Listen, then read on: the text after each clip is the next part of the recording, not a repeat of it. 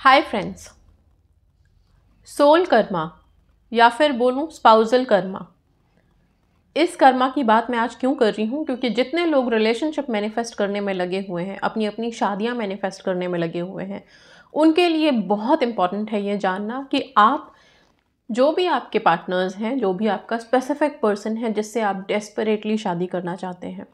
लेकिन एक चीज़ का ध्यान शादी से पहले रखिए। हमेशा हम जब आ, कोई ऐसी चीज़ सुनते हैं कि ये मैरिड पीपल के लिए है तो उसमें इंटरेस्ट लेना कम कर देते हैं। जो अनमैरिड हैं उनको बता रही हूँ क्योंकि उन्हें लगता है कि अभी तो हमारी शादी नहीं हुई। लेकिन जो शादी के लिए बिल्कुल डेस्परेट हैं और टेक्निक्स कर रहे हैं उनको जानना बहुत ज़रूरी है। क्योंकि आपकी विशेज़ सिर्फ़ शादी होके ख़त्म नहीं हो जाती है। असली जर्नी शादी के बाद शुरू होती है और अगर आपको उससे पहले एक माइंडसेट रहे कि आपको करना क्या है या आपके जो पार्टनर्स हैं जिनको आप मैनिफेस्ट करने में लगे हुए हैं उनके साथ आपको आगे कैसे रहना है क्या करना है? बल्कि ये काम क्योंकि आपने अपना जीवन साथी एक तरह से अभी चुन लिया है। आप उनके लिए ही कोशिश कर रहे हैं कि वही आपके हस्बैंड बन जाए या वाइफ बन जाए जो भी। आ, तो अभी से ही आप इन सब चीज़ों को अपनी ज़िंदगी में लागू करना शुरू कीजिए। कार्मिक रिलेशनशिप्स सुना तो होगा ये वर्ड्स सबने ठीक है?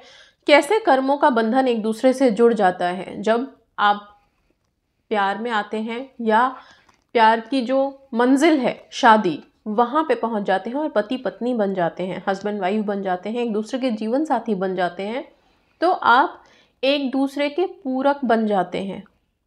ठीक है? जैसे कहते हैं ना, सिक्के के दो दो पहलू होते हैं और एक के बिना दूसरा अधूरा है दूसरे के बिना। अगर हम सोचें कि सिक्का पूरा हो जाए तो नहीं होगा। दोनों की ज़रूरत बराबर है। वैसे ही आप दोनों हो जाते हैं। आपके रिश्ते में जो सबसे ज़रूरी चीज़ है, वो होनी चाहिए सब्र। सबसे पहली चीज़ सब्र, फिर शांति और फिर जो रिश्ते की नींव होती है, ईमानदारी ऑनेस्टी ठीक है? रेस्पेक्ट प्यार, वो तो है ही। उसके बिना तो रिश्ता हो ही नहीं सकता। ठीक है? समझदारी और शेयरिंग एक दूसरे से बातें शेयर करना।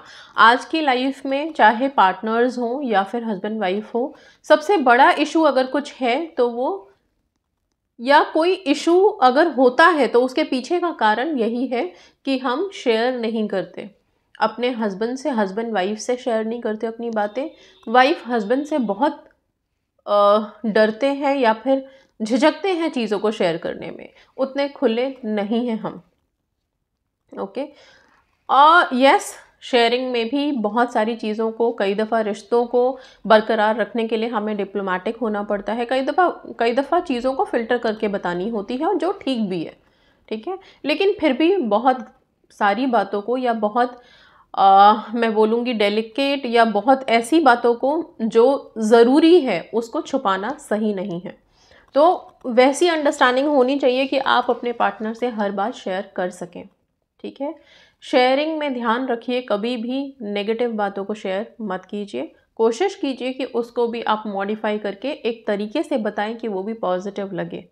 उसमें अगर कोई कमी है, कुछ है तो उसको ख़त्म करने के पीछे काम किया जाए, उसको अंडरस्टैंड कर किया जाए, ये नहीं कि उसकी कमियों की वजह से आप में कमियाँ निकालनी शुरू हो जाए। तो इस चीज़ों का ध्यान रखिएगा कार्मिक रिलेशनशिप जब आप लोग जोड़ जोड़ेंगे, या फिर जुड़ ही जाता है ऑटोमेटिकली सी आप लोगों के पार्टनर्स जिनको आपने सेलेक्ट किया है, या जिनसे आपकी शादी हो गई है हस्बैंड वाइफ बन गए हैं, दोनों के लिए बता रही हूँ, क्योंकि दो अलग अलग सोल्स जुड़ते हैं। तो यहाँ पे एक सोल का काम दूसरे सोल को उसकी डेस्टिनी तक पहुँचाना होता है। इसका ये मतलब नहीं है कि शादी हो गई और आपने एक लाइफ शुरू कर ली बस वहीं पे।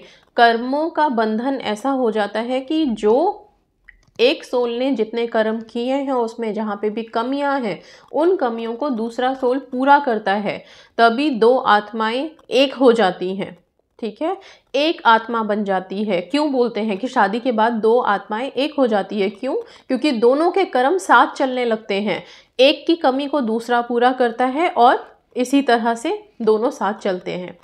तो इस चीज़ का ध्यान रखिए। और सबसे बड़ी चीज़, आप लोग, अगर आपके पार्टनर्स हस्बैंड्स या फिर आपके स्पेसिफिक पर्सन आपको लगता है कि रिश्ते में बहुत डेस्परेट हैं, गुस्सा हो जाते हैं, जल्दी से समझते नहीं हैं तो ये समझदारी आप बरकरार रखिए। कई दफ़ा होता है कि हम अपने पेशेंस को ख़त्म कर देते हैं। एकदम लगता है कि बस हद हो गई सहन की, अब नहीं बर्दाश्त होता, अब बस बहुत हो गया। पर रिश्तों की यही सच्चाई है।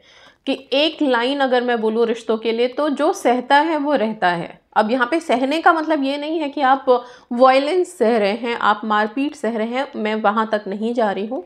सहने का मतलब सिर्फ़ सब्र का होता है। कई दफ़ा हम खुद बहुत डिस्परेट हो जाते हैं। अच्छा आज विश नहीं किया, आज बर्थडे विश नहीं किया मतलब कि अब तो पता नहीं क्या हो जाने वाला है घर में।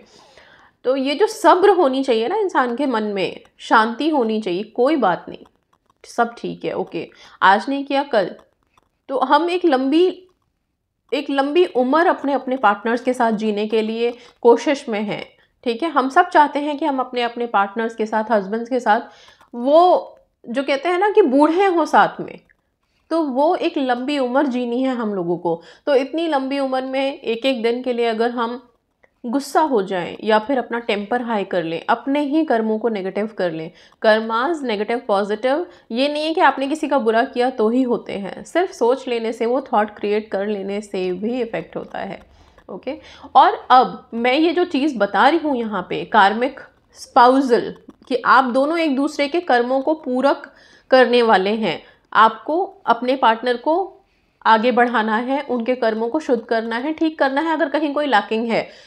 आप दोनों के ही कर्म आगे जो आपसे कनेक्टेड या आपसे जो आगे पैदा होंगे सोल्स और एनर्जीज जो आपसे जुड़ेंगी उनके कर्मों को भी इफ़ेक्ट करेगा। अगर आप दोनों ऑनेस्ट रहेंगे एक दूसरे से कोई बात छुपाएँगे नहीं अभी भी बहुत सारे आ, ऐसे हस्बैंड वाइफ हैं जो एकदम रिश्तों को रिश्तों के लास्ट एंड पे आ चुके हैं जिनके ऐसा लगता है कि अब बचा ही नहीं कुछ भी। पर फिर भी अगर उन दोनों हस्बैंड वाइफ से आप जाके पूछो तो दोनों के मन में ये ज़रूर होगा, अगर उनके बच्चे हैं तो कि हमारे बच्चों को की परवरिश अच्छी हो, उनके संस्कार अच्छे हों, वो अच्छे इंसान बने। लेकिन आपने खुद अपने कर्मों से उन्हें क्या दिया? तो अगर आप अपने आप को दोनों एक दूसरे के लिए पॉजिटिव रखेंगे आप दोनों एक दूसरे के लिए ट्रस्ट रखेंगे फेथफुल रहेंगे लॉयल रहेंगे, वफादार रहेंगे एक दूसरे के प्रति तो आपकी सामने जो भी बच्चे हैं या आपके फैमिली के मेंबर पूरा फैमिली का कार्मिक अकाउंट बन जाता है एक, जो इफ़ेक्ट हो जाता है सिर्फ़ एक या दो बंदों से। और हस्बैंड वाइफ तो नींव होते हैं।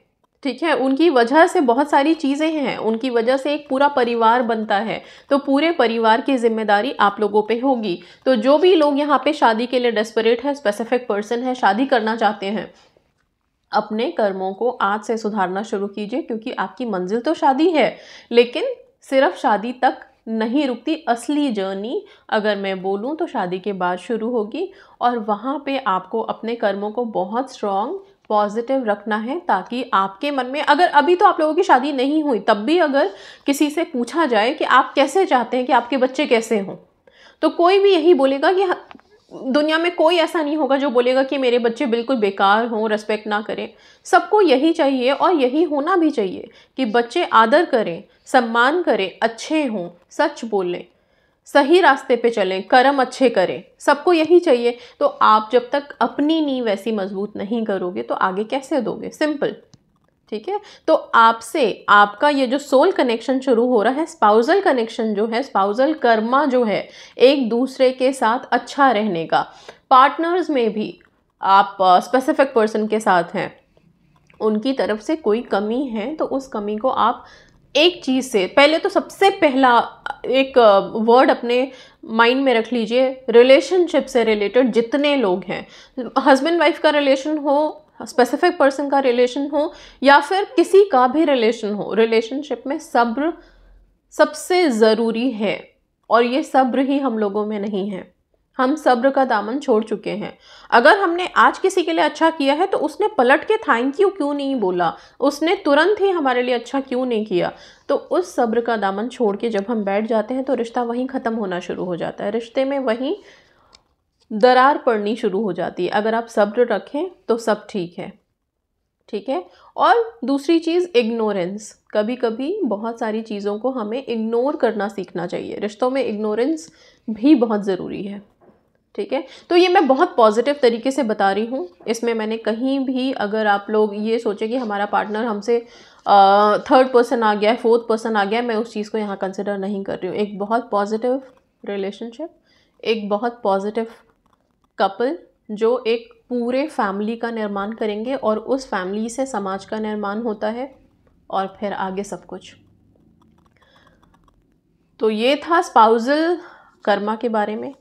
स्पेसिफिक पर्सन हो, या जो शादी के लिए बैठे हैं, उनको भी ये ध्यान रखना चाहिए कि आप जिस पर्सन से जुड़ेंगे, उसके कर्मों को आपको ही पूरा करना है तो आप पहले भरे हुए होने चाहिए। आपका कर्म पहले उतना पॉजिटिव होना चाहिए। आप लोग अच्छे बनिए पॉजिटिव सोचिए, और ये चार चीज़ें हमेशा ध्यान में रखिए। सब्र, शांति, ईमानदारी, वफादारी शेयरिंग ठीक है? शेयरिंग बहुत ज़रूरी है। दोनों को सीखना होगा धीरे धीरे करके। एकदम से नहीं कि ये शेयरिंग वर्ड सुन के बस सब कुछ धड़ाधड़ बता दिया। नहीं, बहुत समझदारी से शेयरिंग होनी चाहिए। शेयरिंग ऐसी चीज़ है कि आप हर चीज़ शेयर भी नहीं कर सकते हो और शेयर करना भी है। तो दोनों चीज़ें हैं, इसमें अंडरस्टैंडिंग रखिएगा। इसके साथ साथ हम कर्मों से रिलेटेड और भी बातें करेंगे बिकॉज़ कार्मिक अकाउंट ऐसी चीज़ है कि अगर इसका पलरा बहुत भारी है तो फिर आपके सारे कोशिशें सारी चीज़ें बहुत रुक रुक के काम करती हैं, बहुत ब्लॉकेजेस क्रिएट हो जाती हैं चीज़ों में। ठीक है, इसलिए कर्मों पे हम बात कर रहे हैं। तो ये स्पाउजल कर्मा था नेक्स्ट कर्मा भी कोई पेरेंटल कर्मा या फैमिली कर्मा। मैं इस तरह से एक एक टॉपिक कवर करूँगी, जिसमें कि कुछ ना कुछ हमें सीखने को, जानने को मिले।